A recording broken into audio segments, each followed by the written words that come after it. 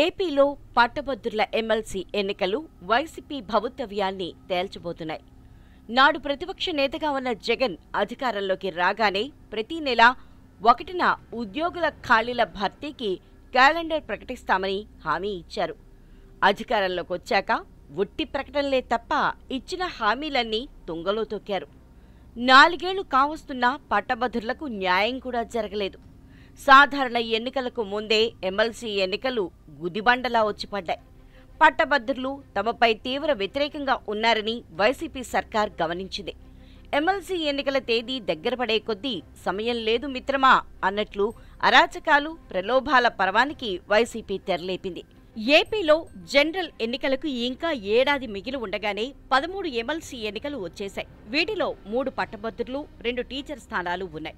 చిత్తూరు కర్నూలు నెల్లూరు పశ్చిమ గోదావరి తూర్పు గోదావరి అనంతపురం కడప శ్రీకాకుళంలో స్థానిక సంస్థల ఎమ్మెల్సీ స్థానాల్లోనూ ఎన్నికలు మార్చి పదమూడున జరగనున్నాయి. తుది ఫలితాలను మార్చి పదహారున ప్రకటించనున్నారు.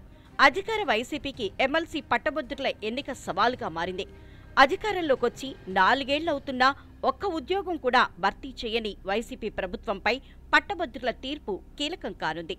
రాష్ట్రంలో యువగళం పేరుతో యువనేత లోకేష్ పాదయాత్ర సాగిస్తూ యువతను ఆకట్టుకుంటూ అధికార వైసీపీని ప్రశ్నిస్తూ సాగుతున్నారు. ఇదే సమయంలో ఏ ఎన్నికైనా ఎలాగైనా గెలవాలన్నది వైసీపీ ఆలోచన. అధికార పార్టీ నేతలు డబ్బు సెల్ ఫోన్లు ఎరవేసి పట్టభద్రులను ఆకర్షించేందుకు ప్రయత్నాలు చేస్తున్నారు.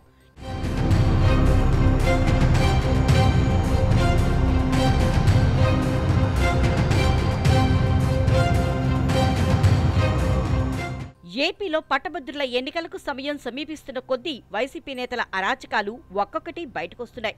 డబ్బు మద్యం సెల్ ఫోన్లు ట్యాబ్లు ఇలా ఎవరి శక్తి కొలది వారు ఉచితంగా పట్టభద్రులకు ఇచ్చి వారి ఓట్లు కొల్లగొట్టేందుకు ఎత్తుగళ్ళు అమలు చేస్తున్నారు. సాధారణ ఎన్నికల్లో కలిసి పోటీ చేయాలనే లక్ష్యంతో ఇప్పటికే పొత్తుల కోసం ఎత్తులు వేస్తున్న విపక్షాలు ఈ ఎమ్మెల్సీ ఎన్నికల్లో భిన్నమైన వైఖరి ప్రదర్శిస్తున్నాయి. టీడీపీ ఒంటరిగానే పోటీ చేస్తోంది. జనసేన పోటీకి దూరంగా ఉంది. బీజేపీ అభ్యర్థులను ప్రకటించింది. టీడీఎఫ్ పేరుతో పోటీ చేస్తున్న నేతలకు సిపిఎం సిపిఐ మద్దతు ప్రకటించాయి. కాంగ్రెస్ మాత్రం ఎమ్మెల్సీ ఎన్నికలకు ప్రస్తుతానికి దూరంగా ఉన్నట్లు ప్రకటించింది. ప్రస్తుతం ఎమ్మెల్సీగా ఉన్న వారిలో ముగ్గురు పట్టభద్రుల ఎమ్మెల్సీల పదవీ కాలం మార్చి ఇరవై తొమ్మిదితో ముగుస్తోంది. ఉభయ గోదావరి కృష్ణా గుంటూరు జిల్లాలు మినహా మిగిలిన అన్ని జిల్లాల్లోనూ ఎన్నికలు జరుగుతున్నాయి.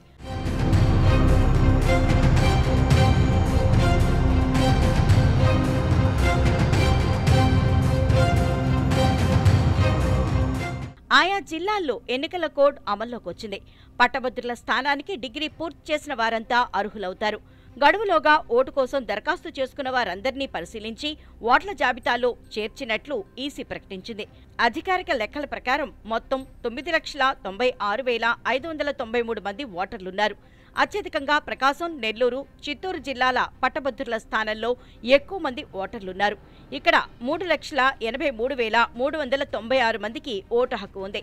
అయితే పట్టభద్రులను ఆకర్షించేందుకు అధికార వైసీపీ నేతలు తలమునకలయ్యారు దీంతో వైసీపీ అభ్యర్థులు ఎన్నికల్లో పాల్గొనే పట్టభద్రులకు భారీగా ఖర్చు పెట్టి ప్రలోభాలకు గురిచేసే అవకాశం ఉందనే ఊహాగానాలు వస్తున్నాయి.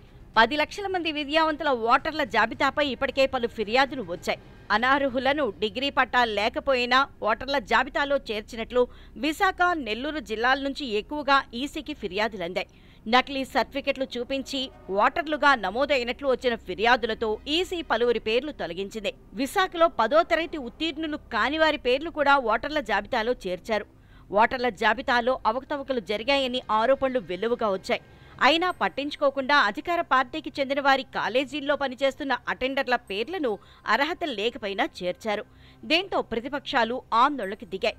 సాధారణ ఎన్నికల్లో ఓటర్లకు నగదు మద్యం పంచినట్లే పట్టభద్రుల స్థానాల్లో కూడా గిఫ్ట్లు డబ్బు పంపిణీ జరుగుతోంది. ఇప్పటికే పలువురు అభ్యర్థులు తమ ప్రచారం సాగిస్తూనే ఓటర్లను నేరుగా కలిసే అవకాశం లేనందున ఆన్లైన్ ప్రచారానికే ప్రాధాన్యత ఇస్తున్నారు. రాష్ట్రంలో ఏటా జాబ్ క్యాలెండర్ ప్రకటిస్తామని వైఎస్ఆర్సీపీ ప్రతిపక్షంలో ఉన్నప్పుడు డప్పు కొట్టింది. బడాయిలు పోయింది. అదిగో మెగా డిఎస్సి ఇదిగో అంటూ ఊరించింది. కానీ నాలుగేళ్ళలో ఒక్క డిఎస్సి నోటిఫికేషన్ లేదు. జాబ్ క్యాలెండర్ అంటూ ఒక్కసారి ప్రకటన చేసినా పోస్టు లేవు. తూతు మంత్రంగా వాలంటీర్ల పోస్టులు ఇచ్చి ఇదే ఉద్యోగ భర్తీ అని జగన్ గొప్పలు చెప్తున్నారు. ఏపీలో నిరుద్యోగ యువత తీవ్ర నిరాశ నిస్పృహల్లో ఉన్నారు. అధికార వైసీపీ తమను మోసగించిందని భావిస్తున్నారు. ఎన్నికలంటేనే ఫాల్స్గా మారాయని ప్రతిపక్షాలు ఆరోపిస్తున్నాయి. ఏపీలో అధికార దుర్వినియోగం జరుగుతోందని ఆరోపిస్తున్నారు. వచ్చే ఎమ్మెల్సీ ఎన్నికల నేపథ్యంలో వైసీపీ నేతల వైఖరిని అందరూ గమనిస్తున్నారు. ఈ పట్టభద్రుల నియోజకవర్గాల్లో మాత్రం వైసీపీ ప్రభుత్వానికి పెద్ద పరీక్ష ఎదురు కాబోతోంది పట్టభద్రుల ఎన్నికల్లో వైసీపీకి ఎలాంటి గుణపాఠం చెప్తారో త్వరలో తేలనుంది. మెటా న్యూస్లో ఇది ఇవాల్టి న్యూస్ ఆఫ్ డేట్ మరో ఇంట్రెస్టింగ్ టాపిక్తో మళ్ళీ కలుద్దాం.